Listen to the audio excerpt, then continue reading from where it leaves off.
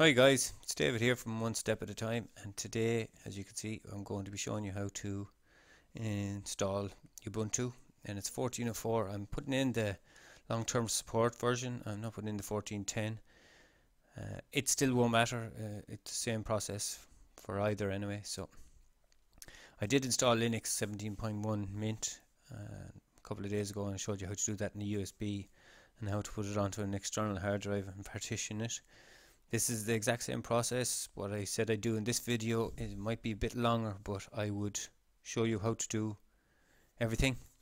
So I'm going to show you how to put it onto a bootable USB and then how to install it. I'm just going to be using a 16 gigabyte USB to install it on.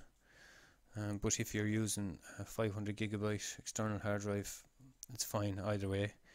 Uh, when we get to the partitioning just allow at least 10 gigabytes for the root but as I won't have that much space on this I'll be using a little bit less but we can talk about that later.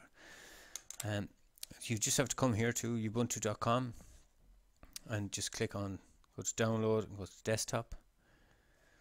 But on this um, just pick your version either 32 or 64 bit. It's 64 bit so and click the download I have it downloaded because uh, my broadband is not the best so it would take a long time to download and we don't want to be waiting for it. So I have it on my desktop. This is it. Here. And the first thing we're going to do is I'm going to show you as well a little application that you can download. It's called Rufus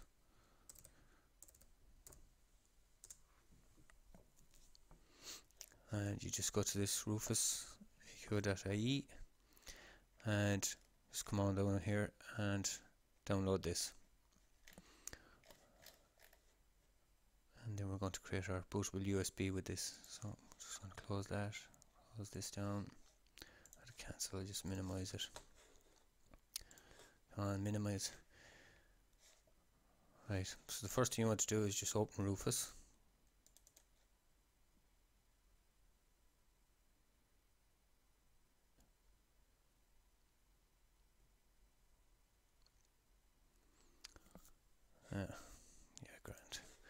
But anyway, up here, as you can see, uh, the device that I'm using, I'm just going to wipe it. I've got a Hiren's bootable CD put onto this, which is a fantastic piece of software anyway for saving your ass if you have lost or deleted or your computer has crashed. So, but anyway, I have it already on another one. Uh, I've done this for the video, so uh, it'll automatically detect your USB if you've plugged in. So as I said it's picked up this. I want the file system FAT32 so I'm leaving it at FAT32 I'm going to leave the cluster size at default and the label I'm just going to call it Ubuntu and then down here I'm going to click on the downward and I'm going to click ISO image and then I'm going to click um, to select the image. So once I've selected the image, I'm going to go to my desktop, which is here. And this is my ISO file. So I'm going to click on that and say open. And once it's in there, all you have to do then is click start. So I'm going to click start. And it's just telling me warning all data on this will be deleted, which is fine.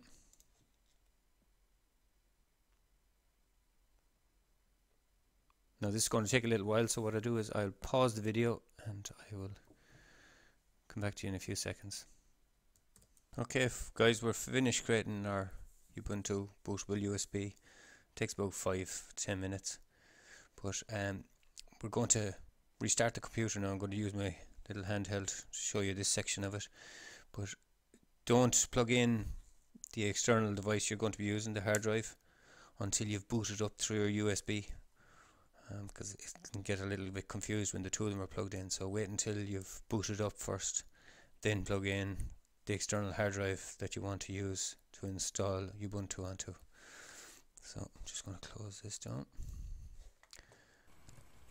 Once I get my uh, options up here, as you can see, I think should be able. Um, you have a couple of different options on depending on your system, but on mine the F9 is giving me a once-off option, so I'm going to use that.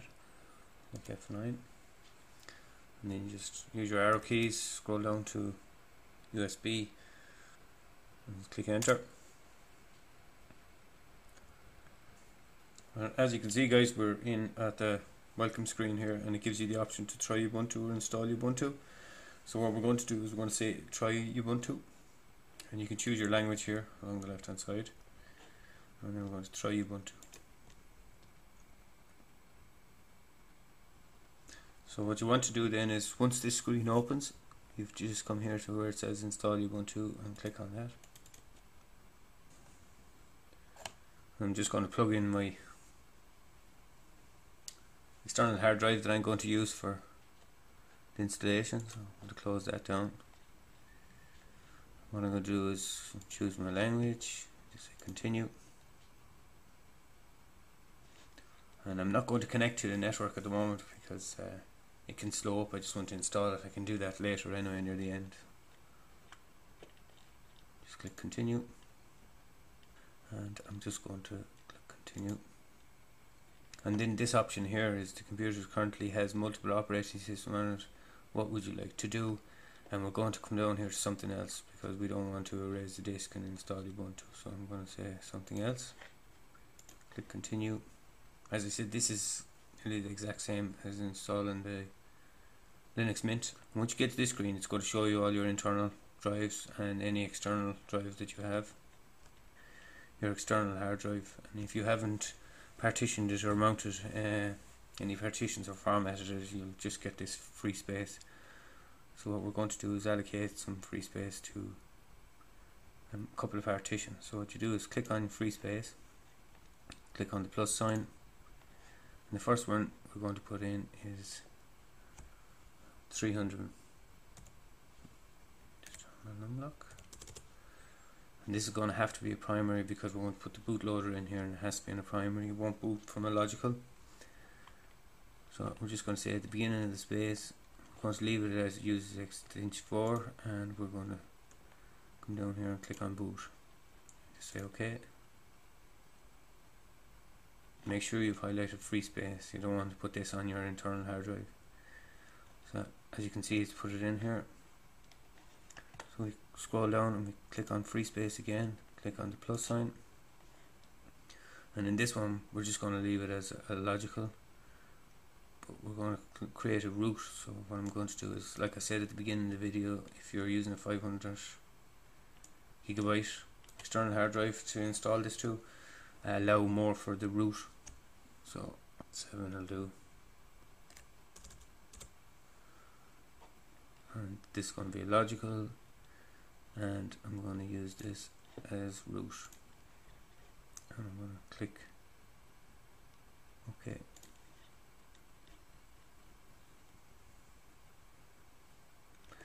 I'm going to scroll down again.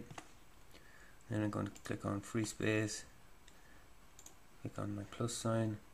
And I'm going to leave this as logical as well but what I'm going to do is this time I want to use it as a swap area. So I'm going to click on swap area. Swap area is like your RAM. All you want to do is allocate whatever size you want to that. So uh, 4000 I usually put into it of a bigger hard drive but for the purpose of the video and what I'm using I'm just going to say 2000 to allow for that. So,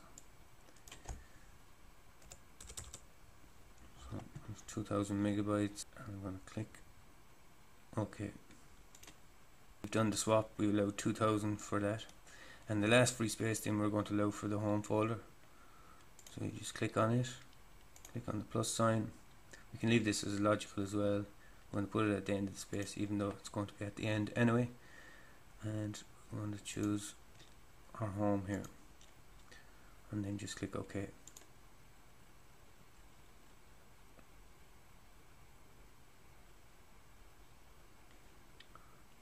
And uh, come back down here to boot.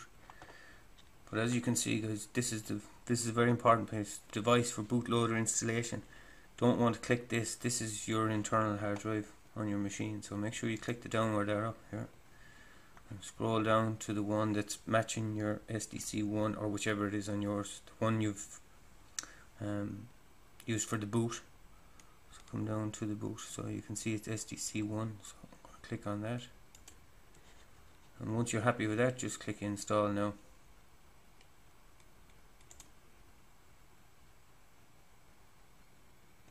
And then when you're you want to pick your area so I'm in Ireland so pick that. It's going to Dublin I'm going to say continue. And once you get this option all you have to do then is just once you pick your language just click on continue. And then just type in name you want to use so sorry about my hands crossed and then it's giving me and I'm going to choose a password.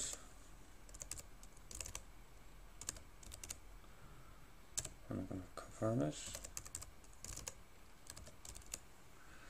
And for this I'm just going to say login automatically so.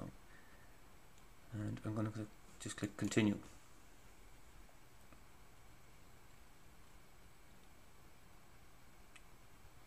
So now guys it's copying files and installing it. So um, you can look through this and it gives you and shows you a few features of it which are pretty cool but um, this can take a while so what I'll do is I'm going to pause the video and when it's fully installed I'll come back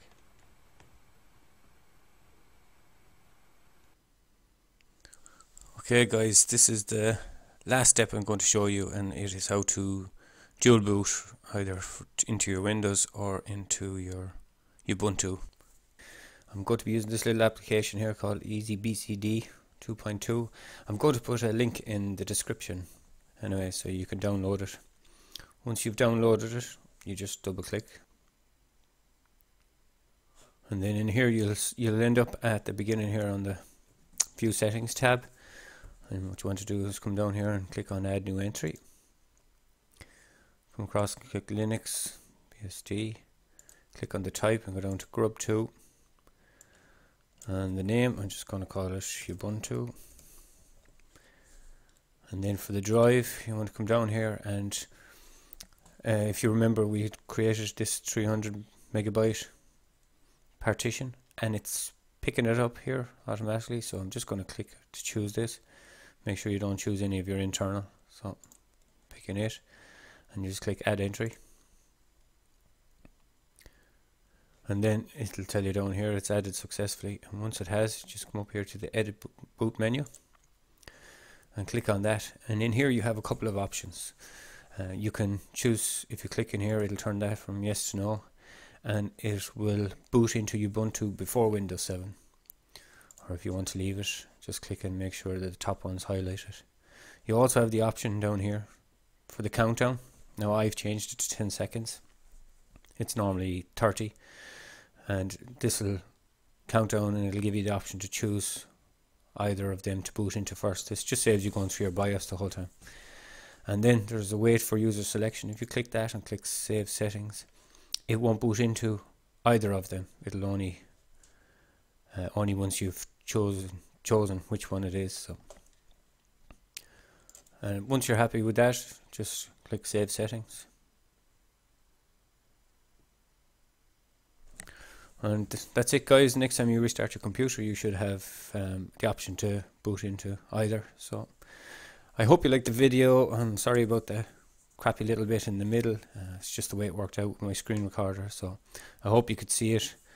Uh, if you liked the video hit the like button, subscribe if you want and I will see you in the next one. Cheers, good luck.